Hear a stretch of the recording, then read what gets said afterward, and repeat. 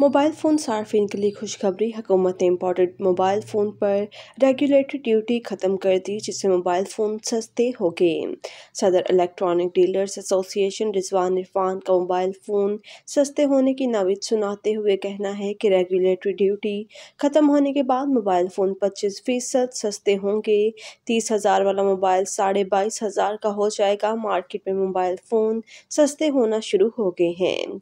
सदर electronic dealers association association का मजीद कहना है कि लोकल मैन्युफैक्चर मोबाइल फ़ोन सस्ते नहीं हुए। मोबाइल महँगे होने की वजह से नॉन पीटीए की डिमांड बढ़ गई थी। दूसरी जानब शहरीों का कहना है कि मोबाइल फ़ोन की कीमतों में कमी अच्छी खबर है। मोबाइल फ़ोन वक्त की अशद ज़रूरत है। मोबाइल फ़ोन्स के इस्तेमाल से लोग तालीम और कारोबार करते हैं।